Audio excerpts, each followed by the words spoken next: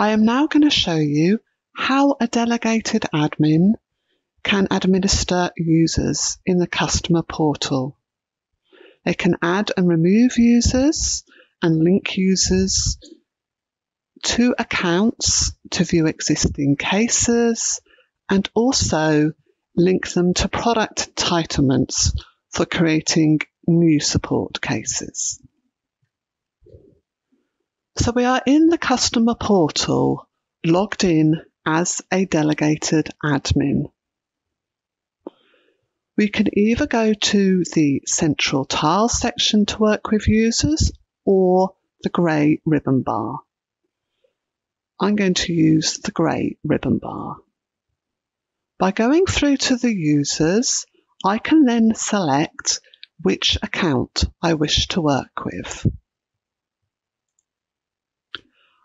I'm going to pick this account. It will show me the users that are currently associated with this account, which is my current user. I wish to add a new contact to be able to work with this account. I select Add New Contact and then provide the details.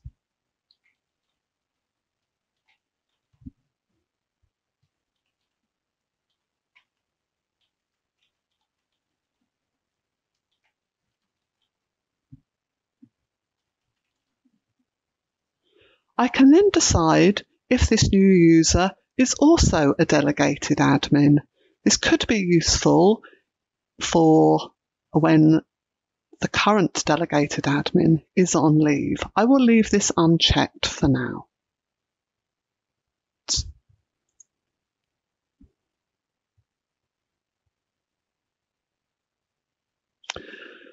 That email address is already associated with a contact. So in this particular instance, I'm adding this as an additional account.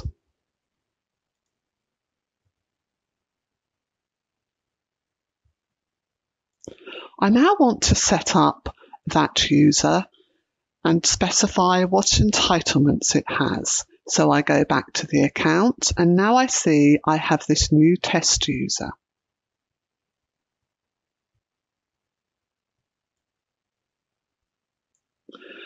I can, if I wish, change the role at this point to administrator. And I can also give entitlements to whichever products. Let's, for example, give entitlements to these particular products.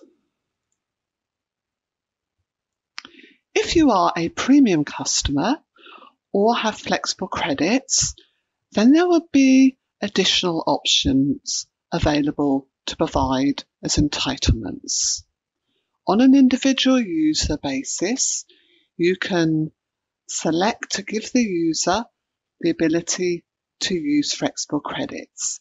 Similarly, you can also give the user ability to create premium support cases.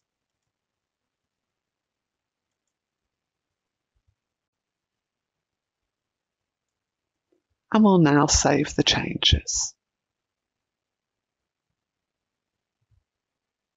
This test user now has access to be able to create cases and look after cases for the account for which it has been set up.